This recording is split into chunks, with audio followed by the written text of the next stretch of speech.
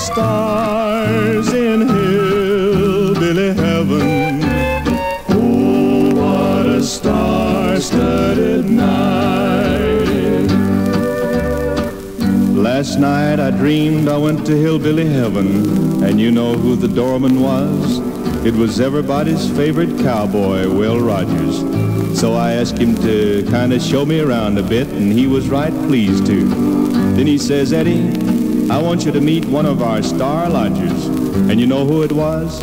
It was the old blue yodeler himself, Jimmie Rodgers. I dreamed I was there in hillbilly heaven. Oh, what a beautiful sight.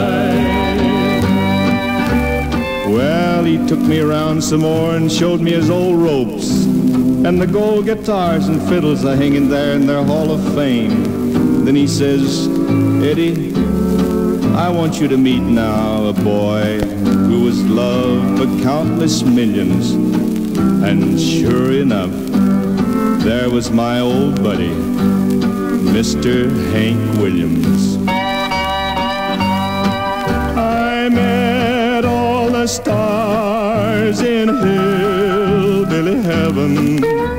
Oh, what a star-studded night.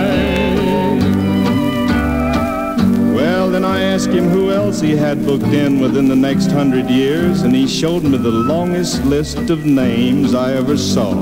So I started to read.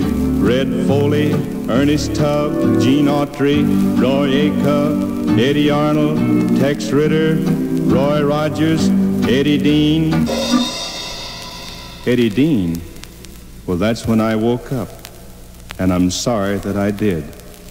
Cause I dreamed I was there in hillbilly heaven.